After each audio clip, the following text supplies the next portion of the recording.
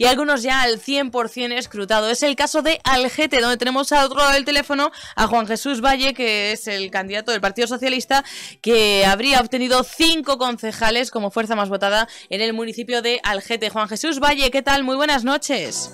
Buenas noches, Sonia. Bueno, enhorabuena por esos resultados. La fuerza más votada del Partido Socialista con el 20,14% de los votos, 1.993 votos para el Partido Socialista. ¿Qué valoración hace de estos datos? Bueno, lo primero, muchísimas gracias por darnos la enhorabuena. La valoración que damos es muy positiva y es un día para estar muy satisfechos porque llevamos durante cuatro años trabajando duro para obtener este resultado.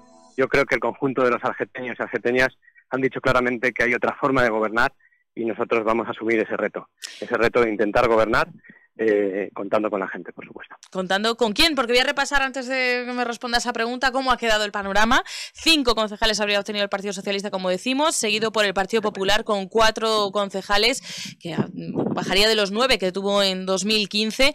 Ciudadanos, tres concejales. Vecinos por el GT, tres concejales.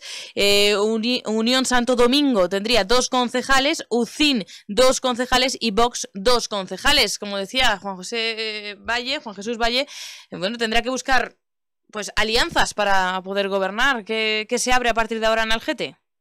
Sin duda se abre un escenario donde pues, nosotros tenemos obligación, el reto de asumir esas negociaciones, pero yo quiero quedarme totalmente, si me lo permite, Sonia, un día para estar satisfechos todos los socialistas de Algete, todos los progresistas que nos han votado, hemos tenido un, fuerte apoyo, sí que es verdad, con muchos partidos, concurriendo muchos partidos, así que es un día para disfrutar, para estar satisfechos y tiempo habrá, evidentemente, en los próximos días para hacer un análisis y asumir que nos corresponde como primera fuerza.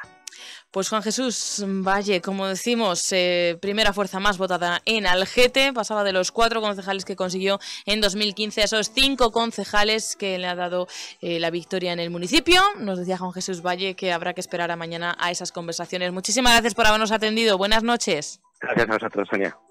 Saludos.